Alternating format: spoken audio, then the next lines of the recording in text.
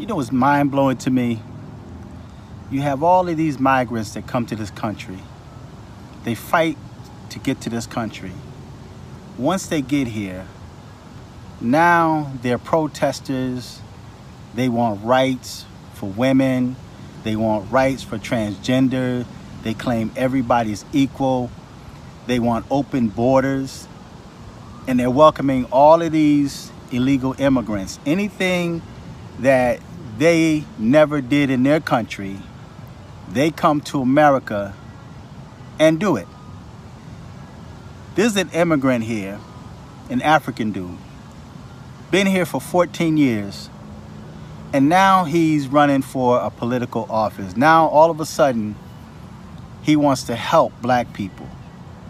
Everybody uses black people as a guinea pig. If, if you want to rise up in society, go into the black community and just pretend like you want to help them. Do a couple of good deeds to gain their trust and favor.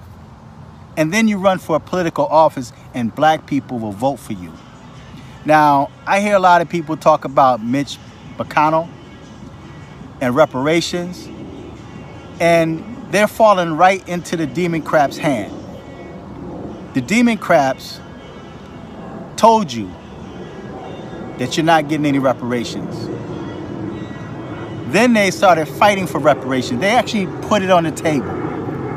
And they approved it because they knew it wasn't going any further than them. So they put it on the table and the Republicans shot it down. So now black people are attacking Mitch McConnell, playing right into the hands of the Democrats, saying that they're racist and talking about how they deserve, you know, to get reparations and they forget about history and all this nonsense. Now, when it comes to reparations, we're not going to get it. But I can understand where black people or so-called black people in America deserve some type of compensation um, for what happened to our ancestors. I was going to write a book titled Living the Results of Yesterday Today. Black people don't know their names, they don't know their language, they don't know their nationality, they don't know their culture. I'm talking about original culture. They only identify as black and now African American and they have no connections to Africa. And even if they did have family in Africa, they have no idea who they are. So yeah, there has been a lot of damage done to the so-called black Americans. So when it comes to reparations, I think that if they're going to pay a monetary reparation, it should be for people that were born, say like 1975 and before. When it comes to those uh, millennials, free education, tax breaks just like the Native Americans receive, other little perks and benefits that will help benefit them in life because they never really had to go through anything. Black people are, are the only ones that get can get slaughtered in the street by police and police walks because nobody really cares about black Americans because technically they're still on the books as three-fifths of a person. They're not even considered a total human. Yes, they tell you one thing, but actions speak louder than words. But the demon craps told you that you weren't getting any reparations. So what they did was they put it on the table for political reasons. Because when the Republicans shoot it down, then they can say, see, I told you, they're racist. They're racist. But yet the demon craps already told you, Cory Booker told you, you ain't getting no reparations. You know? Um, Mitch McConnell said, you know, we gave you Barack Obama. And think about it, Barack Obama was in office for two terms and he did nothing for black people. He did everything for the transgenders and the gay community, but nothing for black people. So it's easy for people to come here and play on the emotions of black people and get into political office. So now you have these immigrants that's coming here and they're protesting. You take, for example, Ilhan Omar. She's always tweeting stuff in the internet. And when you find people like that, I, I view that as someone that's also playing into that um, that plot or agenda to cause America to fall because you didn't hear about her. And I'm sure in the country she came from in the Middle East, she wouldn't be out there. She wouldn't. She would not be that outspoken. And how are you going to get there and protest for gays? And you're a Muslim, and you know what the Quran and Hadith says, but yet you're going to protest for Muslims, and you have a lot of immigrants come here, set up in the black community, and sell you pork, sell you alcohol, sell you tobacco, but yet they themselves don't delve into that. They don't touch it.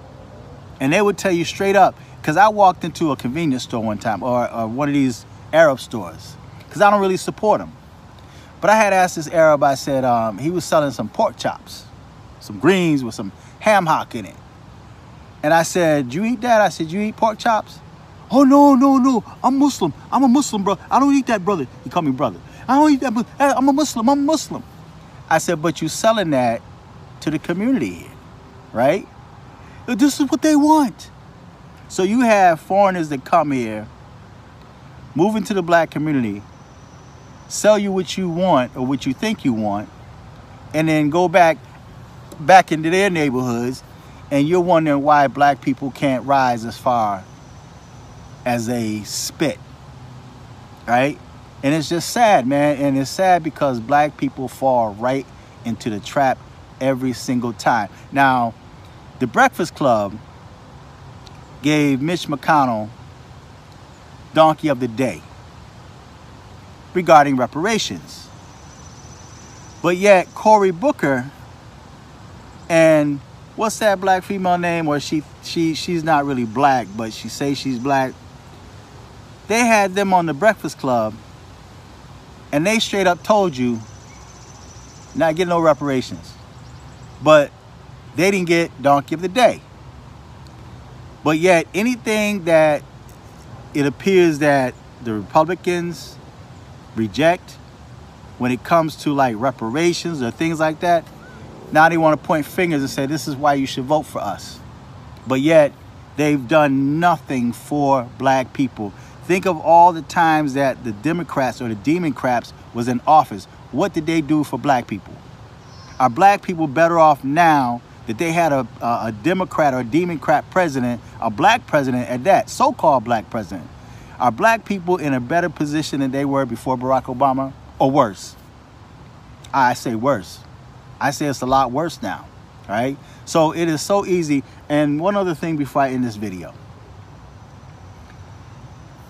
This whole ordeal with China and the United States. Now, I think these are testing times or trying times for Trump to see what he's really made out of.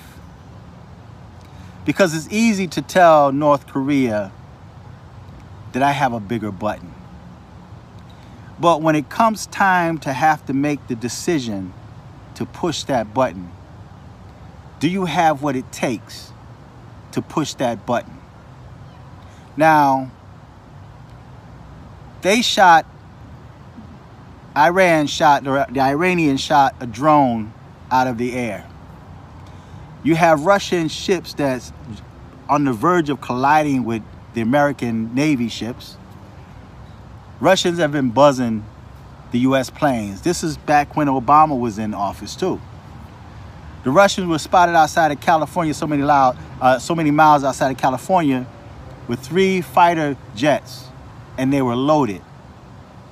When the U.S. Uh, planes came and escorted them out, they kind of split up and went different directions. The United States didn't do nothing. So now you have the world sitting back watching.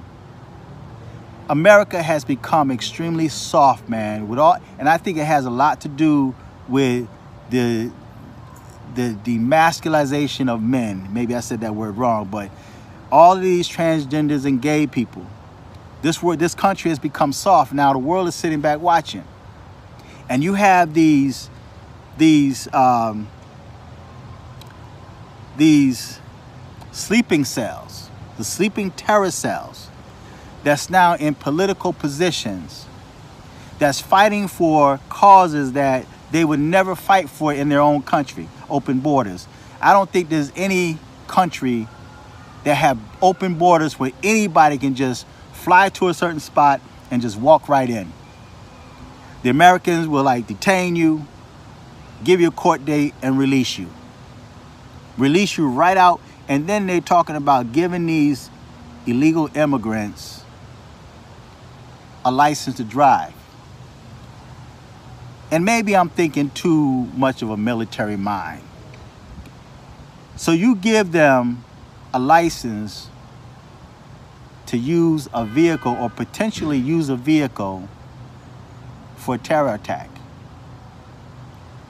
Car bombs. They think that if they put themselves in a position where they would die in the cause of Allah, they would enter into paradise with so many virgins, right? So you're giving them a license, illegal immigrants that you don't even know, the license to drive an automobile, gas-powered automobiles, that they can just plow into people. They can plow into a school uh, playground. They can turn into a bomb. And you're giving them license to drive and you know nothing about them? What does the word illegal say to you? When you hear illegal, what does that actually say to you? But you have Americans that's fighting against Trump for wanting to seal up the border to keep illegal immigrants from coming in. And they have no idea who these immigrants are, have no idea who they are. And the taxpayers' dollars are paying for them. Now, it's interesting and this is going back to black Americans, and I know I'm skipping around. You have black Americans that's fighting for illegal immigrants and their children. Oh, they're doing this to the children. Oh, he's cruel. He's separating the families from the border. But yet, the black family is separated. Most of black homes are run by single parent mothers. And the children are out of control. Your sons are in the street, gang banging drug dealing, being killed. Your daughters are ended up pregnant, right? In strip clubs. And you're talking about families being separated at the border,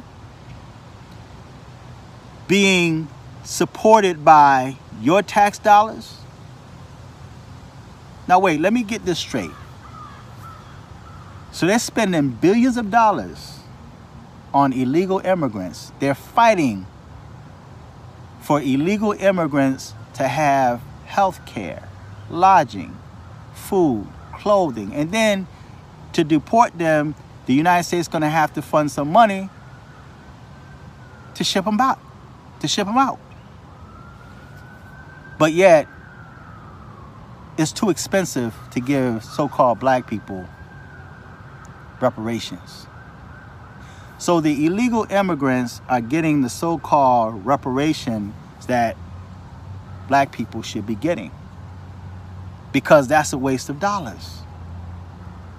You're giving them free health care, you're giving them license to drive, but when it comes to black Americans, you don't get no reparations. But yet, you're supporting people that shouldn't even be here. You refuse to seal up the border to keep them out. And you have people like Ilhan Omar that's vouching for illegal immigrants. The Democrats are vouching and protecting illegal immigrants. And black Americans are being gunned down in the street by police, being beat down by police. And the police walks. Help me to make sense of that. And black people support illegal immigration although they're telling you you're not getting reparations. We're going to take your tax dollars and support these people that broke into the country, that stole their way into the country. And black people support that. Help me to make sense of that. And you're still voting Demon Democrats. Joe Biden is one of the most racist people. And black people now, it's interesting. I'm going to end this video.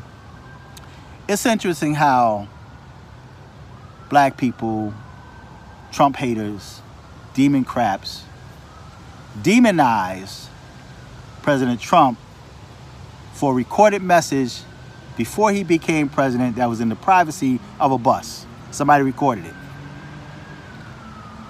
They called him a pervert. They called him all kind of names, saying that he didn't respect women and women shouldn't vote for him.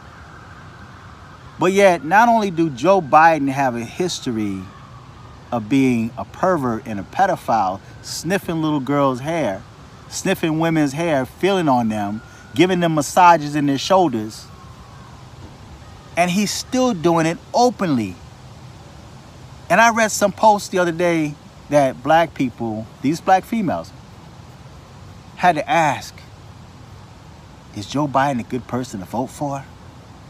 So you mean to tell me you have to really think about that? So you willing to vote for, for Joe Biden? And he said that they're gonna send y'all back enslaved. This is where his mindset is. They're gonna put y'all back in chains. They're gonna bring back Jim Crow, fear tactics, to get the votes of black Americans. And guess what? Black people will vote for him. It's really sad. It's a really sad state that black people, they don't even realize that they're being destroyed and they're supporting a party that's destroying this nation along with you. Along with you. Ilhan Omar, just because her skin is brown don't mean that she's your family or she's on your side. They're putting that cheese out there, that mousetrap cheese. And you guys are falling for it. And she get up there and she's always tweeting about what need to be changed and these rights and this and that and the other. And I'm sitting there looking like, well, why didn't you fight that hard in your own country? Why did you run from your country to come here to protest the laws here that were here before you even came here? So now you want to change laws in America to be the way it was where you ran from. Go back to your own nation and fight for rights there. Don't come here and try to change the way we live. They protest against gun laws, and you got people where they came from armed saying Allahu Akbar. Make sense of that. So, I didn't mean this video to be this long. This is the first video I've done on my phone. I'm testing it out. Feedback, tell me what you think. Until next time, I'm fearless.